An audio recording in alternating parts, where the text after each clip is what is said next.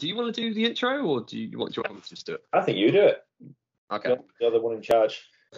Do I give off this general demeanor of being in charge? How little you know me, Alex. Oh. Hello, everybody. Welcome back to episode three of the Honor Vodcast, where this week we will be focusing quite a bit upon the Honor 50 Lights, which is one of these. Let's just introduce my co host here, Alex. Good day to you, sir. Hello. Thank you for having me on again. It's getting a bit regular thing now. It is like we're kind of consummate professionals We try to. that we are. Yeah. Mm. What have you been up to? How are you? I'm very well, thank you. Uh, battling the weather. I think we've had all sorts of weather, especially in the northeast. We've had snow, wind, rain, you name it. We've had every se- single season so far. So we've gone from the dizzy heights of 20 de- degrees, and then we've had snow. So yeah, which has been fun. I was driving through a snow flurry outside Bristol last week, and it was just like you driving through light speed. Just everything just blasting at the windscreen. Yeah. and thinking, this this was glorious sunshine a week ago. What's going on? I'm also going to try and not cough my guts up all the way through this podcast. So um, yeah, if you if you see me coughing, everyone um, don't panic. I'm okay. I don't have the virus, but uh, yeah, not been feeling too good. So excuse the hacking and the horrible noises coming out of my uh, nose and throat. A really happy start to this podcast. Yay! Miserable weather and illness. there you go. That didn't take long. It's already starting to build up with the cuffs. Great. First up, what else has been going on at the moment? There isn't really any uh, update on the Magic 4 Pro that we can let people know about. Uh, we're still waiting on full release dates and more solid information. And alongside that, we're still waiting on more confirmation with regards to other bits and pieces, such as the Magic V, which, if you watched last week's, no, it wasn't last week, if you watched two weeks ago podcast, you find out that Alex is seriously looking forward to showing that one off. Yeah, can't wait for the. I think that's going to be the killer phone. Um, I think they're both going to be really good. To be fair, I think it's just I think it's putting on it on the map um, for the big technology that's coming out, which is get, always good to see. looking forward to everything we've got coming through. I just want it now. Before we get into the stuff we can't play with just yet, it's worth highlighting. We wanted to have a little chat about the Honor 50 Lite. Coughing, coughing, coughing. 50 Lite has in the last, when was it? Last week? End of last Yeah, week, Friday. Friday. Yeah, so 50 Lite has now dropped to sub 200 pounds. It is 199 pounds as of the recording of this video in the UK, which is a superb price for a device that is fairly well specced out. Um, when you compare this to a lot of other things around that price point, it has some big advantages, uh, notably the, the storage, the RAM, uh, the cameras, big screen. It's surprisingly powerful for what it is. Yeah, and the supercharged plug, which we mentioned last time as well. What It- one of these? Oh, there we go.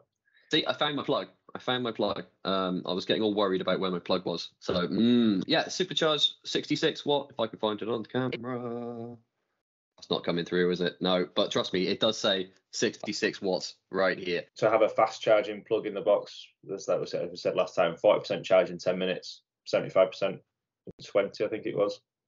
Seven, uh, 70 and 20. Yeah. So yeah, which is yeah super super quick uh it's a 4300 milliamp hour battery which i mean I, I get easily uh you know well past a day with this no hassle um into the second day obviously it depends on how much you use it but decent sized battery really quick ability to charge it up which is what you want to do again you just forget that it needs charge whack it on while you're having breakfast done, dusted, really, really simple. It does look different, right? It's not, even though it's part of the 50 family, it does look a little bit different to the regular 50 in the approach on the back of it with the camera array. well, the back and the front, obviously, you you got the flat screen on the front, but it's still a really big screen. I think it's actually bigger than the 50. It is, uh, test my knowledge, uh, 6.67 inch instead of uh, 6.57 inch on the 50. So yeah, so slightly bigger, but as I said, the, the body to ratio of the phone is, is really big, and then obviously you've got the big circle um, on the back, which you probably can't see because it's a black phone. The the camera array on the back, it, it's ironically, it's kind of a prelude to the Magic series, isn't it? Where you've got that main lens in the center. Um, what was it called again? The I, Eye of Muse. That was it. Yeah. If you're liking the look of the the Magic camera array setup on the back, this is kind of a prelude to it, where you've got one big central array with four cameras in a square formation. The main lens is 64 megapixel, and then you've got your wide, uh, depth, and a macro camera. Uh, macro cameras are great. There's some um, funky pictures on my Instagram of taking close-ups on um, flowers and things like that. It, it's it's really really good. You want to be a couple of millimeters away from the target. And you can get some incredible detail off the back of it. There are things like that, especially we're well, supposed to be in spring, right? Uh, call back to snow, rain, and everything else. A macro camera um, is really good for those extreme close-ups and things. It's great that they've got one on there because a couple of years ago, a macro camera was seen as more of a uh, a premium feature. On the front side, with the big size screen on it, um, you've got a pill cutout shape uh, with a 16 megapixel selfie camera on the front, which is tucked into the top left-hand corner. And th- the thing is with this as well, like you said, with it being a big screen, uh, I've, I've tried watching a couple of movies on this in passing and playing some games, and it's great for that because it's such a big real estate. You got such a big real estate of actual screen size that even though it doesn't feel like a huge phone, but the edge to edge on it is really, really well big. Find a better adjective than that. Word of the day, kids, is big. That's that's what I seem to be saying today. really, really good, and it's really, really big. Yeah, really bright as well. Um, screen, Yes. so just the, the colours are co- coming out on the screen. Um, really good. Again, well, good and big. um, when I've taken it into stores and I've shown staff through training events and things, the, the one of the first things that they come back to straight away is, "Oh wow, that's bright," and that looks that looks really good actually. I've done it again, good. Oh. I next week before we do this podcast, I'm just gonna go to sleep reading a, a dictionary and just hope that something superlative yeah, eats its way it- into it my a- subconscious. I believe it also has the DCI-P3 uh, classification, which gives it uh, a more realistic and accurate color representation. wide colour gamut. Which, with a bright screen and a big screen, is what you want when you're watching content and playing games on it. You want something to visually pop. So the screen to body ratio on the 50 Lite is 94.4%, and the super narrow bezel is only 1.05 millimeters wide. So not that you can really, really see it too easily on here, but yeah, yeah, the edge is really small compared to the edge of the screen. Yeah, it's pretty much edge to edge, isn't it? It's, Again, for a sub 200 pound phone, that's that's a really appealing feature. One of the other things that the 50 Lite is pretty good. I've done it again. No, stop saying good. it is really good, to be fair. Ah, this podcast is brought to you by the words good and the number 128 gigabytes, which is how much storage the 50 Lite has. Again, that's that's on par with the standard 50, and in that price range, you're used to most phones generally having a sort of 64 gig storage. So having double that is a major benefit for a ridiculous amount of space.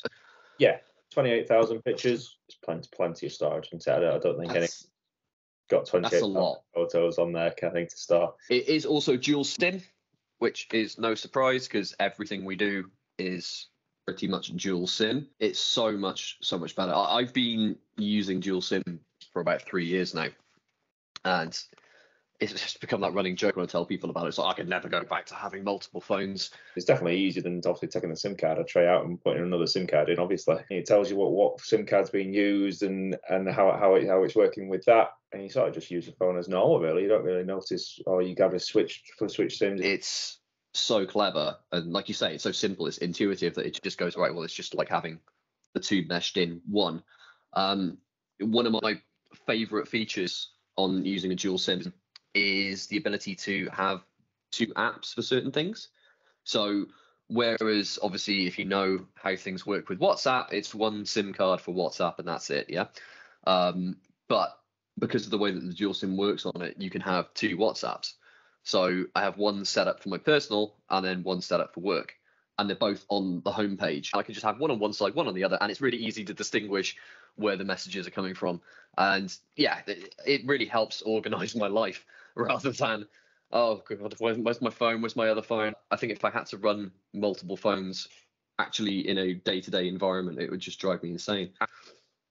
Yeah, I, I, one another thing, I, I actually had two different network sims in there, and if one wasn't working in the area, just to easy just swap the internet and use use the other sim card for the internet and just be able to keep keep using my phone was Yeah. really handy as well. Kind of just that seamless effort of still being connected wherever I was. Yeah, that that itself is great because you don't. That's a very good point you, you bring up there. Actually, They- you don't need to be in the same network. They can be different networks, and you can set a primary data drawer off one of them so that your data is being used on one of them, uh, and you can flick that backwards and forwards. Um, yeah, just makes it really really easy. Um, but yeah, dual SIM, dual SIM is a great feature, and dual SIM is standard on the 50 Lite, but might as well say it's also on the 50 regular 50 as well. Sing a little song, Alex, whilst I just down this water. Sing a little song. Uh, well, it's also worth mentioning as well the price change for the 50, the 256 gig. Yes. 50, So that's now below 400 pound. So uh, different price points now. Obviously, the 50 Lite at 199, the 50 at 349, and for an extra 50 50 pounds, double the storage and an extra two gig of RAM. The processor in that was the Snapdragon 778G, and that was a capable, very good, fast phone for gaming. Uh, the 8 gig of RAM just makes that even better. Speaking of which, we didn't say this. So 50 Lite. 50 Lite also has 6 gig of RAM. I can't remember if we said that or not. Decent amount of power running it, which means it's going to be quick. Uh, swapping between apps is going to be seamless. You're going to be able to have a lot of them open at the same time. And yeah, again, sub 200 pound, 6 gig of RAM. Very, very, very good. And there's good again. Oh, I think are we are we in charge for the next promo of the new phones? I think we should be. Really good phone. yeah, th- there's definitely a job in marketing for us. Um, yes, that's right. Yeah, if, if you want us to market your products with the words good and big, bad, what have, what have we turned into? Uh, I think we've hit the peak. I think the, the second video was, was the best one. I think we've we just this is it. We- We're going downhill now. This is the slide, or we're going to slide into perfection. It's, it's going to pick up from here. We're going to sort of come down like a like a ski slope, and then just shoot off the other side and be amazing from here on in. Hopefully. Hopefully, but we'll find out on the next podcast, which should be in around two weeks, and hopefully we'll have a bit more exciting news to share with you regarding new products. See how I seamlessly you know, wedged that in there. Good that you you're a professional really.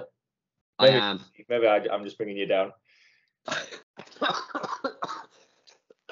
oh, don't make me laugh. Hopefully, as well, when we come back, I will not be coughing or sneezing everywhere. And that'll be uh, a, little, a little bit better for everybody. or more good. More good. More good. That's the title. Uh, that's that's the title I think for this week's episode is more good. Thanks for watching everybody. bye bye. Bye.